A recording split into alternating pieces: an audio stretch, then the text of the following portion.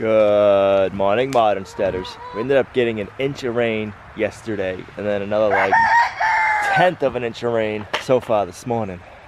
It's making for a pretty muddy mess. Yep. People have been asking, where's Andy? There he is.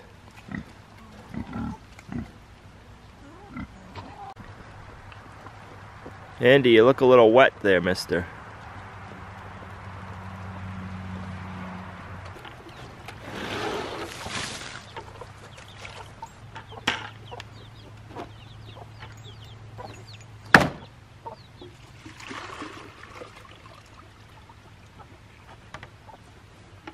Well, I guess all that rain's good for something.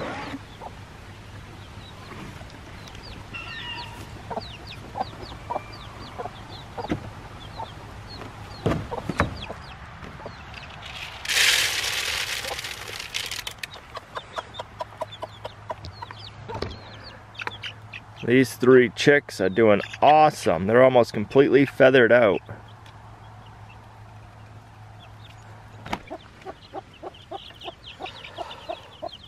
How you doing? Looks like you need some more feed.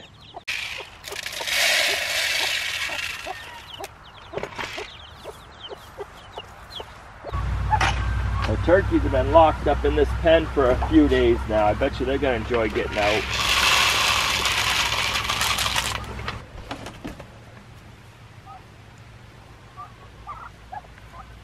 You're free.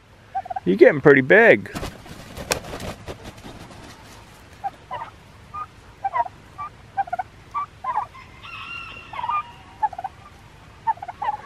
Oh, I go inside to eat some breakfast. I come out and it's raining again, guys. It wasn't supposed to rain at all today. This morning when I woke up, it was raining. Checked the weather. Said it was supposed to stop raining at 5.30. And now it's raining again. Oh, Not cool, not cool. This has turned into a big old mud hole over here. I'm Gonna have to let it dry up for a few days before we can get working in this area again. But I wanted to show you. Uh, look at that. Did really good at burning everything up yesterday. I came out and stirred it up a few more times. And that's all that's left. That's pretty good with an inch of rain on top of that. I'm impressed. What are you doing, Mr. Figaro? You having fun playing in the rain? Huh? No? I don't blame you. I wouldn't want to be out here either if I didn't have to be.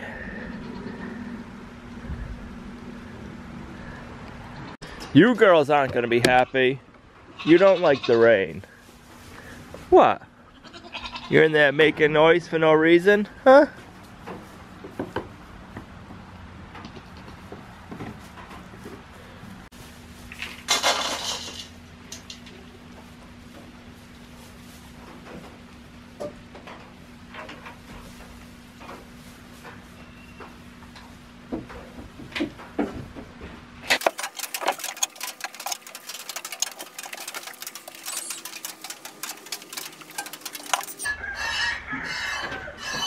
Moving a little bit slower today. Put my back out yesterday morning of all times. Before we even started doing anything. I stood up from milking, turned around, looked the other way, and I went, oh man, my back just went out. It's been a good three to six months since my back's been out. So I'm trying to get in to the chiropractor today. Fingers crossed.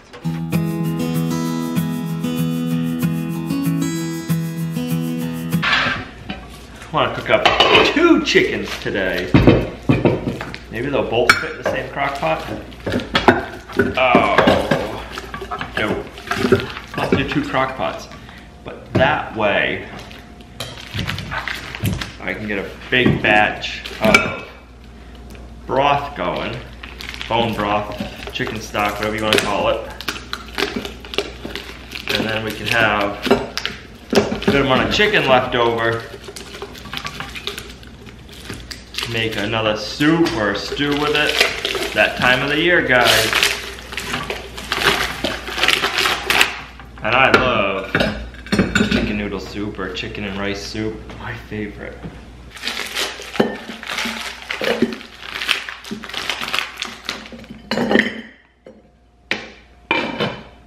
I was just getting ready to go outside and move New York City. We need to do that today. And that chiropractor just called me back and said, hey, how fast can you be here? I had a cancellation. I said, I'm getting in my truck now.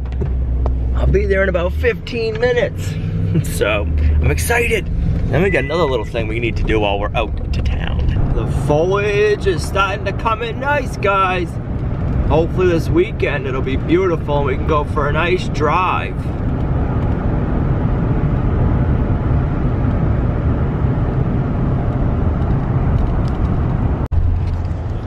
All right, guys, going in.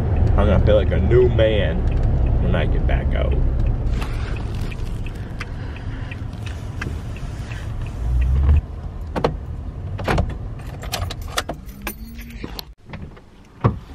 All right, guys, get done with the chiropractor. I feel a lot better, but he told me I need to take it easy today.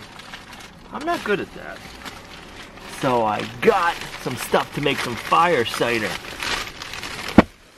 But we still need to move New York City when we get back. It's supposed to rain again tomorrow. I'd rather do it not in the rain.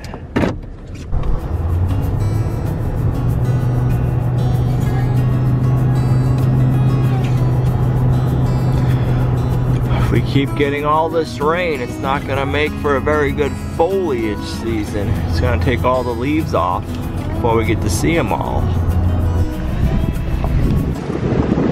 Wait patiently for me to move them. I'm coming, Moose, I'm coming.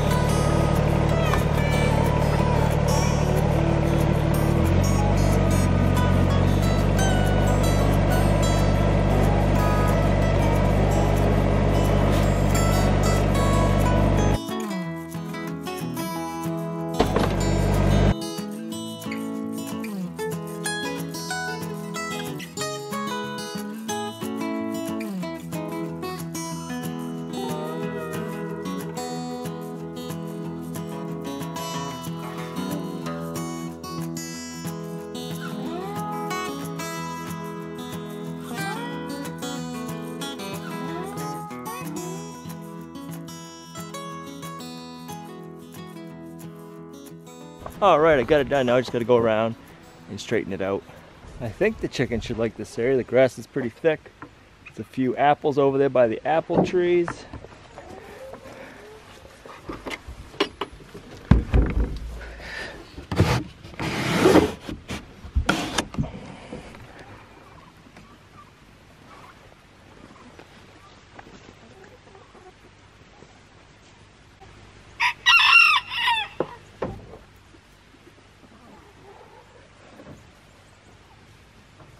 Moose, the grass is almost taller than you in some spots. They found a couple of rainwater puddles out here. They're loving it. There's another good sized one right here.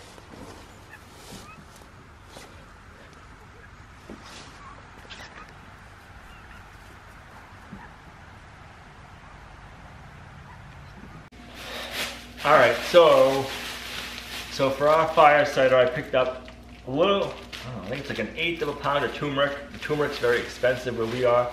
I just got a little bit. got just over a pound of horseradish. All this stuff said and done was about 40 bucks.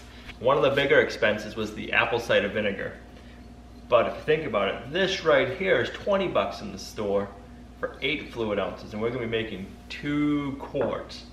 So what's that? That's quite a bit. Huge save. It's a huge savings. Then I got ginger, a pound, right around a pound of ginger.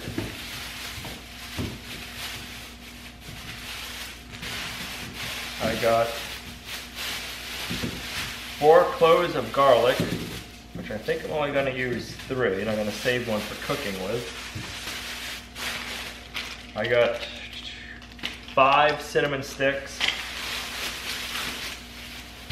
three heads, three heads, three onions, white onions,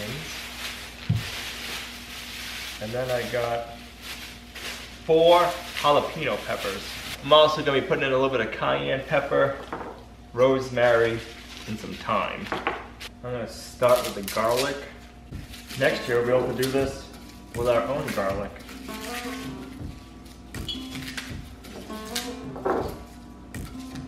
We also want to try making black garlic with our own garlic. I heard that's supposed to be really good for you and very tasty. All right, now that I got my garlic all de-skinned, we'll call it, we'll set that aside. I want to peel my horseradish.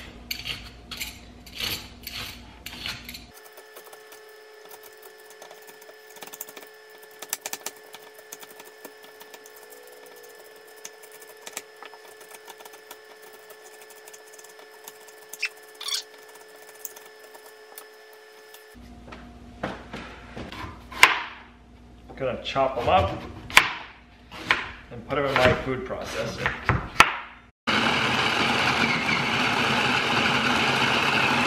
I'm gonna put it all into a gallon glass jar.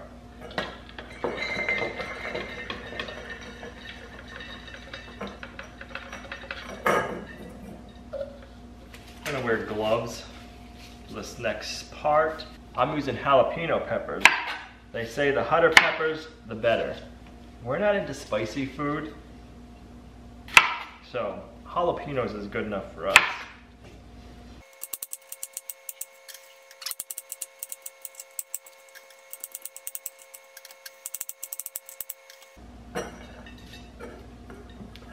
So I heard on ginger root, you use a spoon to peel it. It peels it a lot easier and you only take off the skin, where if you use a peeler, you're gonna get more of the ginger itself.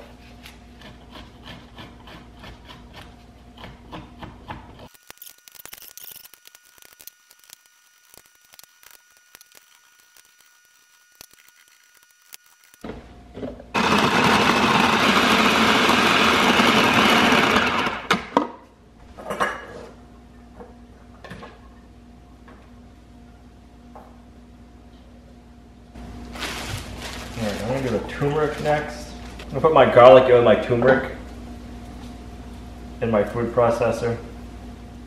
Oh, the colors of the turmeric with the garlic looks so pretty. Alright, the last big major ingredient I have is the white onions. And everything I read said white onions. So I wouldn't substitute them with any other kind of onion. I don't know if I could put this in the food processor. Probably could. You don't have to food process all the food. You can either dice it up with your knife or use a grater. We have a food processor, so makes it easier.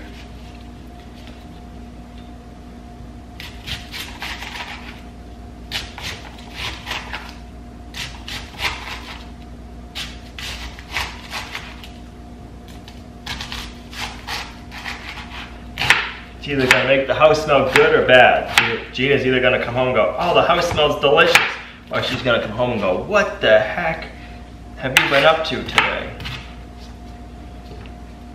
Now I'm not following one specific recipe. I found a bunch of recipes and they are all somewhat different. Some of them called for lemons, some of them called for oranges, some of them called for turmeric, some of them didn't call for turmeric, some of them called for cinnamon, some of them didn't. Some of them called for black pepper, cayenne pepper, rosemary, thyme, and all sorts of things. So the recipe I'm using is just what I thought sounded good to me. You can use jalapeno peppers, habanero peppers, ghost peppers. If you like really hot food, you can make spicier, and supposedly the hotter it is, the better it's gonna be for you.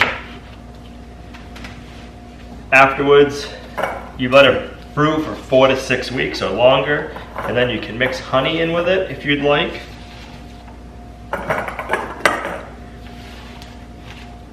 I don't think I gotta get that last onion in. Hmm. Gotta do, just for us, we're not big into heat, I'm gonna do one tablespoon, no, one teaspoon of cayenne pepper. You can do a lot more if you wanted to.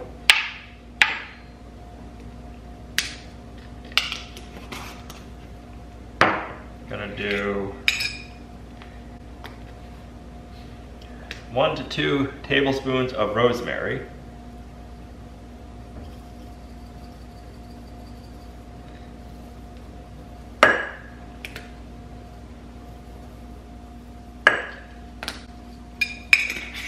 Gonna do one to two tablespoons of thyme.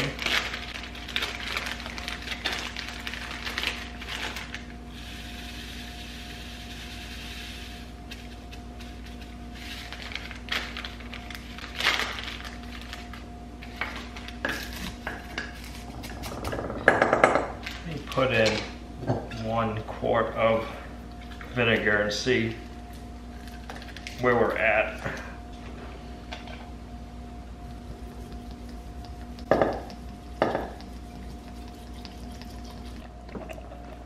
You can hear it.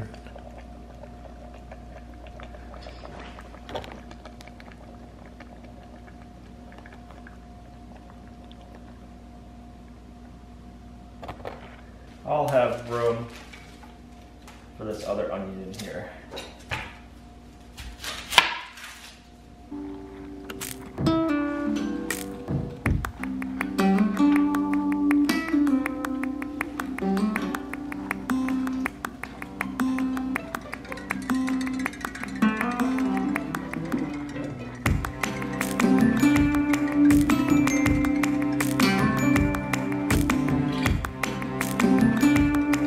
So I made you something to drink when it's ready.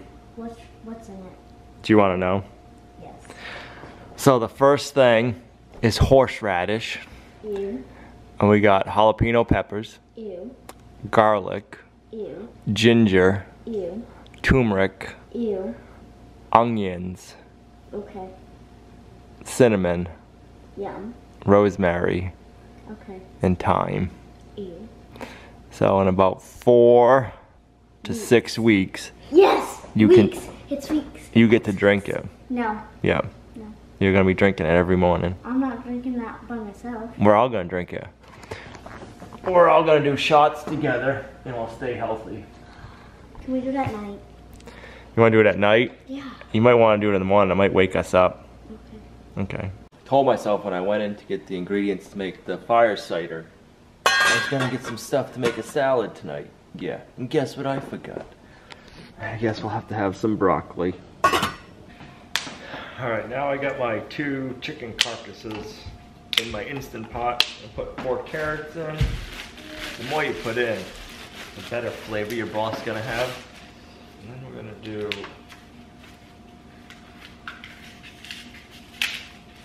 probably at least half of this bunch of celery.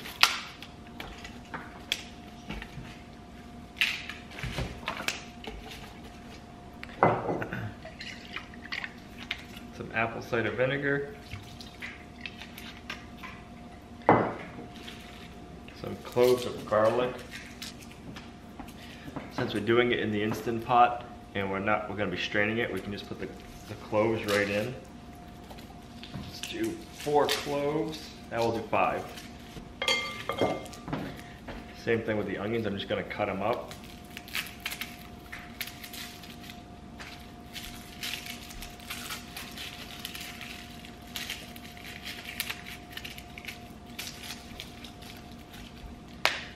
Gonna do about one tablespoon of salt.